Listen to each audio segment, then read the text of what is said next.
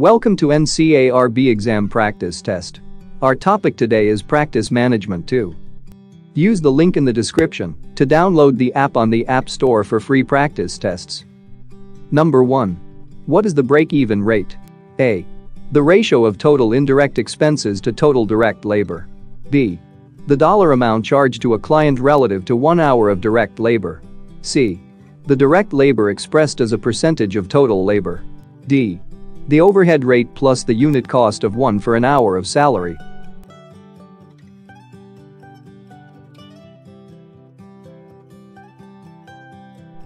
The correct answer is D. The overhead rate plus the unit cost of one for an hour of salary. Explanation. The break-even rate is the overhead rate plus the unit cost of one for an hour of salary.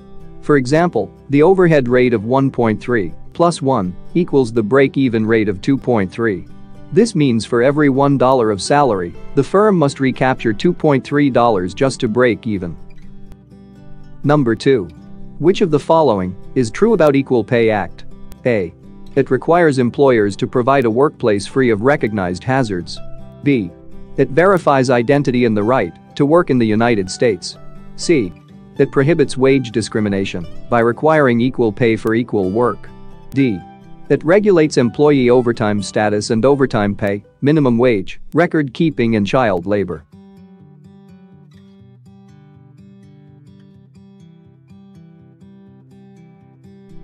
The correct answer is C. It prohibits wage discrimination by requiring equal pay for equal work. Number 3.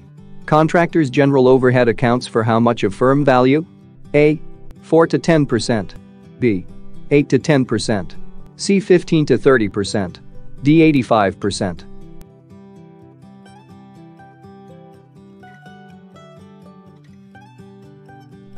The correct answer is B. 8 to 10%. Number 4. What is A201? A standard form of agreement between owner and architect. B standard form of agreement between architect and consultant. C standard forms for construction, meant to facilitate or formalize process during construction. D general conditions of the contract for construction between contractor and owner.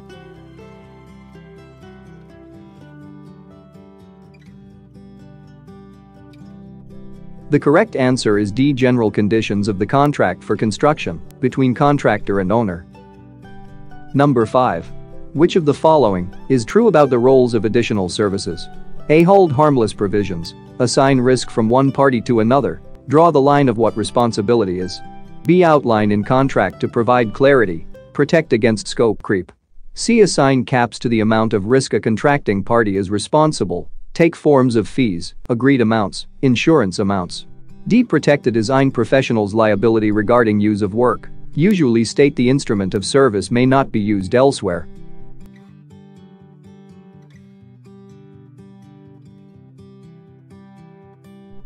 The correct answer is B. Outline in contract to provide clarity, protect against scope creep.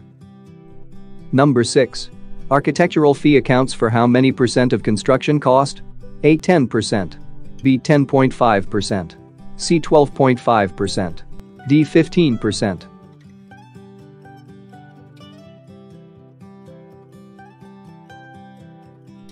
The correct answer is A 10%. Number 7.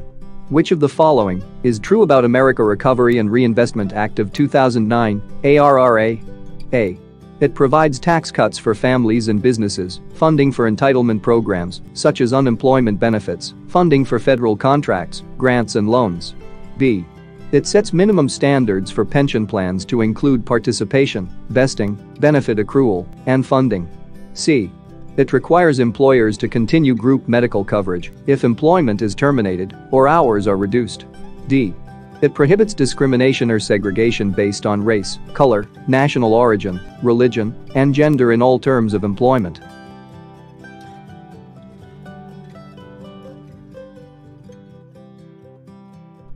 The correct answer is A.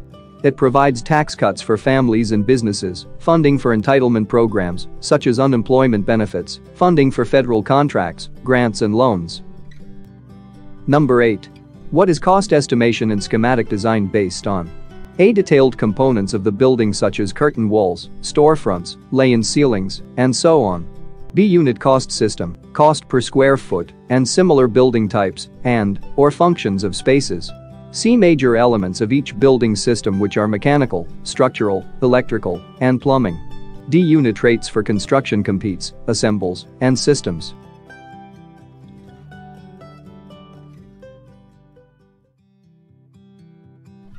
The correct answer is C. Major elements of each building system which are mechanical, structural, electrical, and plumbing. Number 9. Who determines substantial completion? A. Contractor. B. Subcontractor. C. Architect. D. Material supplier.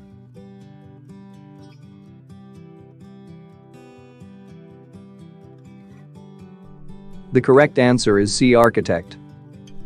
Number 10. What are current assets? A. Those easily converted to real dollars. B. Items that must be paid within the current 12-month period. C. Items that must be paid beyond the current 12-month period. D. The value of shares of stock, invested capital of shareholders, and the firm's cumulative retained earnings.